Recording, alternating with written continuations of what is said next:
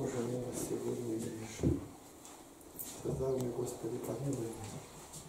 Вещества согрешил, Господи, прости меня, греш, помилуй, благослови, освети, дары посылай мне Божий. Не проди нищийся рабов одиноких, и нам ухожи нуждающихся в нашей помощи. Хвала Тебе за все веки. Аминь. Вот сегодня ходили в храм, уже получше стояли. Но в поле все время это беспокойство. Он даже я смотрел, даже одну минуту не может он стоять, даже одну минуту он стоит. Вот такое вот поведение. Это, это признаки очень нехорошие. Стоит впереди, Илюша стоит нормально. Все, даже маленькие стоят. Ты посмотри, как стоит Назарий, Варлам. Там глядеть не на что, маленький-то. Он стоит, никуда не идет тебя прям всего корежит, дергаешь, изгибаешься, и как-то нога как-то интересно выглядит, и вот так вот начинает трясти. Это, это очень и очень нехорошо. А ты мать обольщенная. Тебе кажется, он там уже со святыми знается. Среди грешников даже он не может еще стоять. Может, про святые говорить. Коля, а зачем ты так в храме ведешь себя? Когда разговариваешь с кем-то сюда? Выйди сюда ставить. Объясни, почему у тебя что-то болит, зачем ты ноги так вот отставляешь, трясешь, непрерывно притом. Даже одной минуты нет, чтобы спокойно стоял.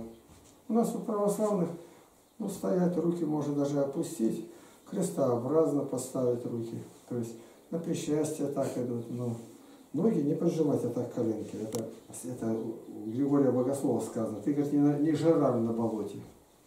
Зачем ты так всяко, всяко трясешь? У тебя болит что-то или что? Или ты не сам это делаешь? Я тебя спрашиваю. Если два раза я спрошу, ты не ответишь? У меня болят, а? болят ноги. Не понял. У меня болят ноги. Ноги болят, да? А как они болят у тебя? Мама про это не говорила, что ты болят ноги. Говорит ну как? сейчас. От того, что ты вот так вот мотаешь, она перестала болеть или что? Да на молитве ты замри, у тебя наоборот они болеть не будут.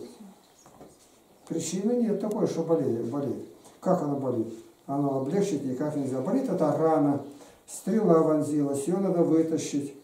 Вот у меня болят обе коленки. Почему? Потому что это старость, там уже накапливается, что не надо в коленях. Но все время шевелюсь, я все время по комнате мотаюсь и мотаюсь, хожу. Ну и от этого лучше делается. Почему ты так делаешь? Ты ответить не можешь, да?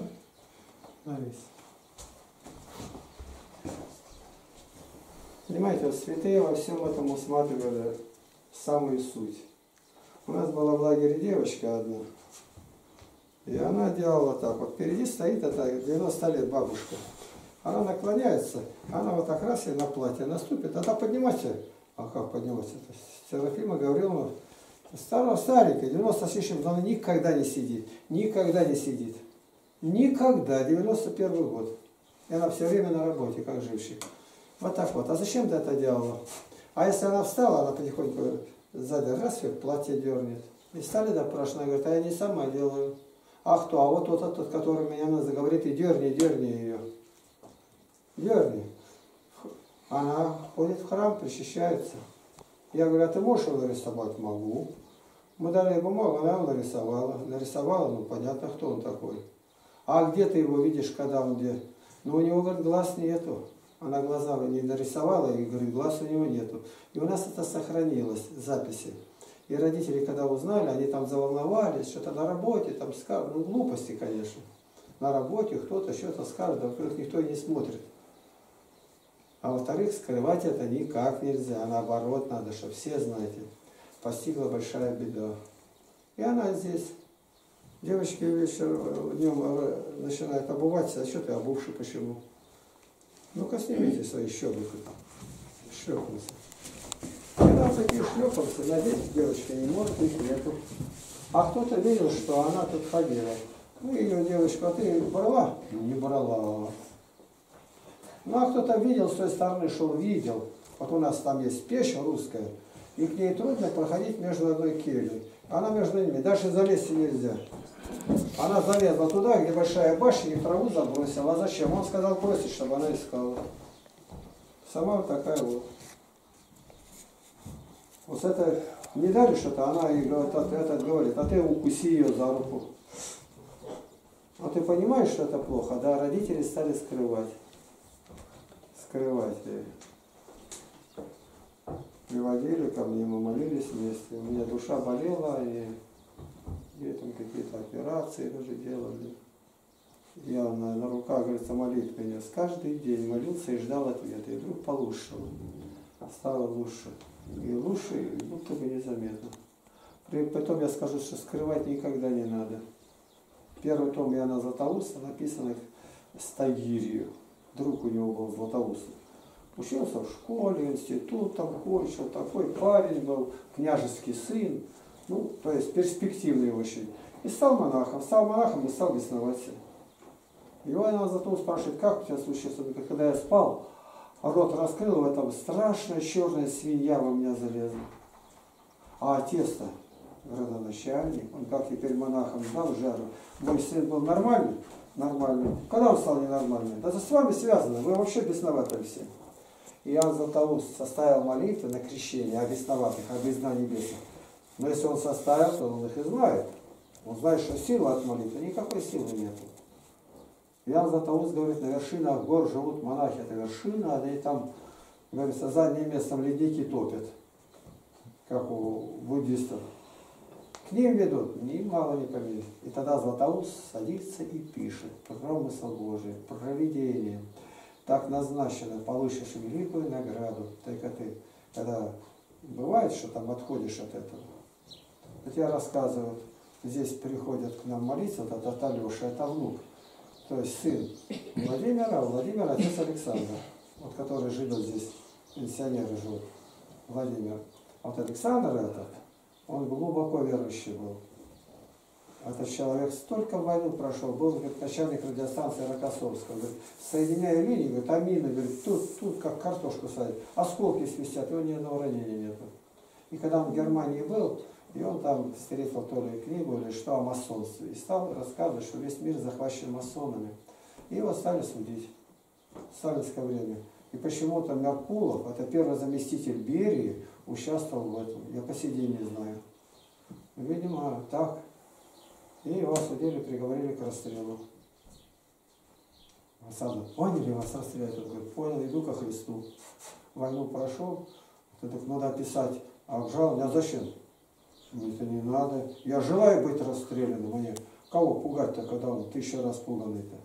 Но они сами написали, и суд наш самый милостивый в мире, ему 25 лет дали, 5 лет поражения в правах и 5 лет там высылки. 35. Всего-то. Но Сталин, говорит, скопытился, через два года, 4 месяца, он освободился. Со Солженицынского рождения скопытился. То есть животное, паломерское животное. И вот он в храме, когда уже вернулся, молился в храме, и впереди бесноватая. И дают, когда ясно, там святая вода крещенская. А женщина одна кричит, не хочу, ей дают руки, она не хочу. И вдруг он отпускает ее минутку, да, она хватает, давай, только схватила в рот, он опять не хочу.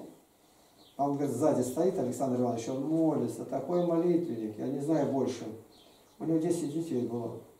На всей работе, где бы он ни работал, дети работа, у него высшая шкала. И здесь тоже.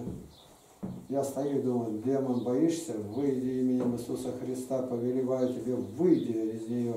Только кончили молиться, она впереди стоит. Она повернулась к нему, Александр Иванович, он тебя нисколько не боится. Он-то молится и всем напряжением хотел помочь, а она стоит, молится, знает он, не она, он знает, и ей сообщает. Он тебя нисколько не боится. Дали все-таки где-то выпить. Дальнейшую судьбу я не знаю. Поэтому надо этого бояться. Вот эти разные выкрутасы, кручения, я не могу, болеть, это глупости болеть. Нет. Это другое. Человеку это не свойственно. Есть такое выражение, это человек может сделать в храме то, чего делать нельзя, за пять копеек. Понятно?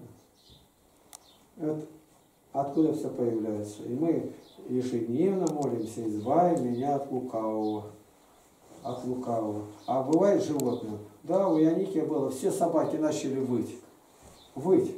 Никогда, кошка болеет, а это воет, воет. Еще он нашел лекарство, сделал глубину, пошел и всех собак переколотил. Святой Аник, это житие его такое. Как он их бил там, я не знаю. А то сегодня, если ты в чужой двор зашел, да прутиком собаку стегнул, чтобы не лаял, да ты, да ты тиран, да ты деспот, да ты, ты. А он их переколотил, житие святое не осуждает его. Звери тоже попадают под влияние беснования. И они неуправляемые. И при этом делает такие дела, разговаривает с человеческим голосом. Вот один у Симона Волхва был огромный черный пес, и люди, когда приходили к Кашпировскому там, или во, этот был, э, как он, Мессинг, Вольф, он знал мысли людей, выходил и, и говорил, а этот пес все знал. Он стоял и слушал, что говорили. Один подходит и говорит, этот Семен-то он ничего не знает. Это ему демон говорит. Он прям бросается, горло рвет ему. Пес. Это демон. И когда молились, говорит, то видно было, черный пес вышел, и голова по полу волочится. В виде таком является и на самом деле демона. Поэтому надо серьезно отнестись. Говорят, какая самая большая победа демона? Ну, побед у него много было, там, правителя, а на свою сторону перетащил, законы дурацкие издают, и вина не там все демоны делают. Ну, а что делать как? Ну, а какая самая большая победа? Дьявол ответил, самая большая моя победа, я сумел доказать, что меня нет. Вот самая большая победа. Раз меня нет, вы сами с собой боритесь. Меня не признаете, а я действую у вас. Я буду наворачивать как хотите. Поэтому внимательно слушай. Пустоглазый смотрит, куда попало. Слушай, я уже несколько раз еще сел, только стоит. Зачем? Я говорю о страшных вещах, которые были здесь. Это может быть с каждым. Вот однажды Александр Иванович лежит, спит, только ложится спать, говорит, слышу, крючок открылся там, наружные двери такие, идет, хлопает ногами. Я гляжу, дверь открывается, заходит. Я гляжу, он такой, вроде вижу и не вижу. И подошел, вот так одеяло натянул и начал душить. Обычно кто-то молитву считает, а я решил так, ну души душил, посмотрю, какая у тебя сила. Он с демоном как разговаривает. Другая была такая, так же точно была, говорит, я молилась, и в это время он дверь хлопнула, дверь заперта была. Я, говорю, как шмыгнула под одеяло, за мужа спряталась где-то. И он не тронул ее. Видимо, муж верующий был. То есть называется он под видом домового приходит. Но вы, что я говорю, я не страхи на вас нагоняю, а с именем Иисуса все превозмогу. И тот, кто в вас, больше того, кто в мире. Не боюсь. Изыди, сатана. Во имя Иисуса Христа Он искупил меня кровью Своей. И когда к двери подходишь утром, скажи, отрекаюсь сатаны, всех делаю, всех ангелов его, всей гордыни его. И не бойся, там тебя какие-то высоковольтные, сейчас говорят, там генераторы ставят и прочее. Дурость все это, шагай через порог, как молния впереди тебя полетит, ничего не будет. Вот сегодня мы маленький урок получили, как бороться с демоном. И поэтому Николай, Николай, никаких Николаев, Коля. Слишком еще далеко до Николая. Коля, ну, мы же говорим Евгения, Женя, так, Галина, говорим, Галя по-простому. Такого маленького кричит Николай, Николай. Я думаю, там какой-то богатырь. Я гляжу, он шмыгает носом стоит. Так, у меня, видишь, неприятно сегодня головы погибли. Так, ну за стол садимся. А. Я садись скамейку подальше, ты не будешь на стол ложиться. А ясно кушаем. Святая вода.